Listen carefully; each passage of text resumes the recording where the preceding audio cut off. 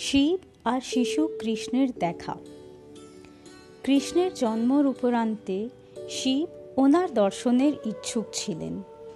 উনি বেশ ধরে গোকুলে নন্দের বাড়ির বাইরে আসেন ও ভগবান বিষ্ণুর গুণগান গাইতে লাগেন।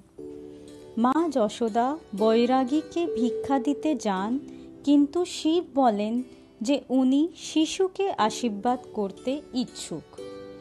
যশোদা কৃষ্ণের সুরক্ষার বিষয়ে চিন্তিত ছিলেন আর বৈরাগী রূপী শিবকে কৃষ্ণের কাছে যেতে দিতে চাইতেন না। কৃষ্ণ জানতেন যে শিব বাইরে আছেন এবং উনিও শিবের দর্শন করতে চাইতেন। যুক্তি করে কৃষ্ণ চিৎকার করে কাঁদতে লাগেন। যশোদা কৃষ্ণকে বাইরে নিয়ে আসেন শিব কৃষ্ণকে নিজের কোলে নিতে চাইতেন। উনি যশোদাকে বলেন যে উনি শিশুকে আশীর্বাদ করবেন। যশোদা দেখেন যে শিশু শান্ত হয়ে চলেছে। উনি শিশুকে শিবকে দিয়ে দেন।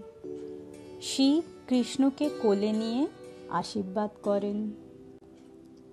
এমন অনেক কৌতূহলজনক গল্পের জন্যে আমাদের YouTube channel save endangered stories देखूँ।